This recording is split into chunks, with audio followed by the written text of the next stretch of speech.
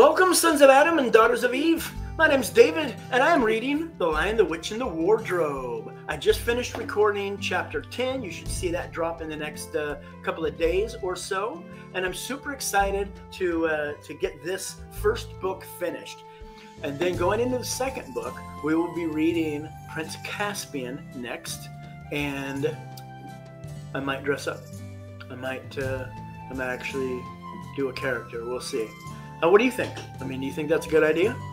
Uh, become a patron and vote. You can see how this project shapes. Speaking of this project, super simple. I have a commitment to read every chapter of each of the seven Chronicles of Narnia. We're starting with The Lion, the Witch, and the Wardrobe, and then we'll move on through the series according to the original publication order. We will not be doing stuff like The Magician's Nephew first. Well, we'll be doing The Lion, the Witch, and the Wardrobe first, and then the second one, Prince Caspian, and then Voyage of the Dawn Treader. Then it gets into the Silver Chair, and then during The Lion, the Witch, and the Wardrobe, you got The Horse and His Boy. So I'll do that one fourth. And then we will read about the creation of Narnia in The Magician's Nephew.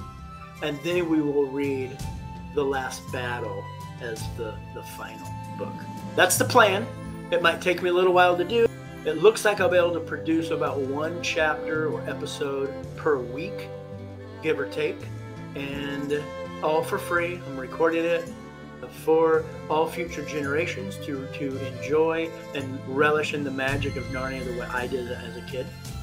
That being said, if you'd like uh, early access, or if you'd like swag, if you'd like to be part of the member only events, go to davidreadsnarnia.com. It'll take you right to the Patreon channel. Check it out. It's three bucks a month. It helps support the cause. And uh, as we get more members, I'll open some cool new features.